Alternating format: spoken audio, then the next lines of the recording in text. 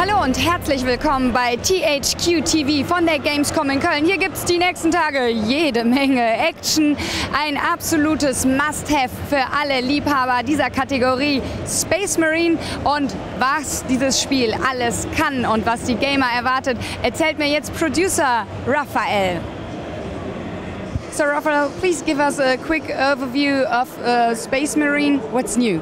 So Space Marine is a third-person action shooter being de developed at Relic Entertainment in Vancouver. Um, you know, this is uh, our action blockbuster take on the 40k IP. We uh, have about seven or eight years of experience working with this IP with Games Workshop in the development of the Dawn of War franchise, which has been a big success for us. And um, this is really a passion project. We've been wanting to take it into a brand new genre and experience it as an action game for a while. And so that this is this is what that's all about. This is about delivering on the core fantasy of being that Space Marine, the seven-foot tall warrior encased in metal walking onto the battlefield, just dominating through force of arms. Let's talk about the single players. What's the storyline? So the storyline of Space Marine is you play the cap, you play a character named Captain Titus of the Ultramarines. Um, uh, an Imperial class Forge world has been invaded by uh, a huge Ork army led by a war boss who's trying to get his hands on a Titan, which is this huge war machine. Um, and if, he, if he's successful, it'll basically put him within striking distance of the heart of the Imperium, which is very bad news for you. And the Imperium is kind of a big sprawling bureaucracy, and it takes a really long time to get anything going. And as they're mustering a liberation force, it could take weeks or even months to get there. So they've sent the Space Marines in to kind of hold the line. And so you're Captain Titus, you arrive in your battle barge with your uh, company of Space Marines, of Ultramarines, and your goal is to basically take and hold the strategic uh, uh, locations on the planet uh, to prevent the war boss from being successful. And that's how the story gets set up. Please tell us something about combat in this game. Sure, the combat of Space Marine is really one of you know the, the, it's the heart of what makes it unique.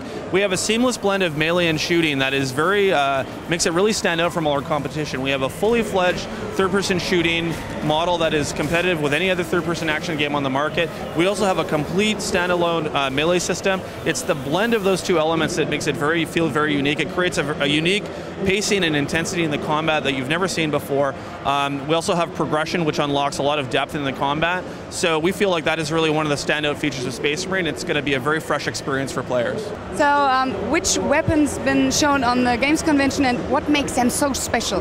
Well, one of the wonderful things about working in the, with Warhammer 40,000 as an IP is there's just a no end of possibilities in terms of destructive weapons that you can that you can use, and so we're exploiting that in Space Marine as much as we can. We have about 15 weapons in the game right now. We have a whole class of weapons called exotics that are so overpowered that we only can give them to the player at specific points in the game because they're just we build these set piece encounters around them.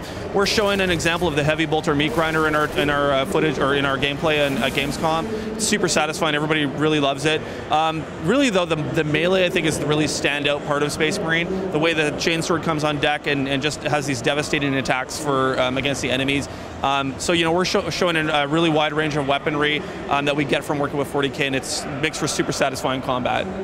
With which systems I can play the game? So we're going to bring Space Marine to the Xbox 360, PlayStation 3, and PC. PC is kind of a big announcement for us right now. Um, we're really excited to be able to bring Space Marine as an experience to all those players. Um, you know, sometime in 2011. That sounds very good. Thank you. Thank you.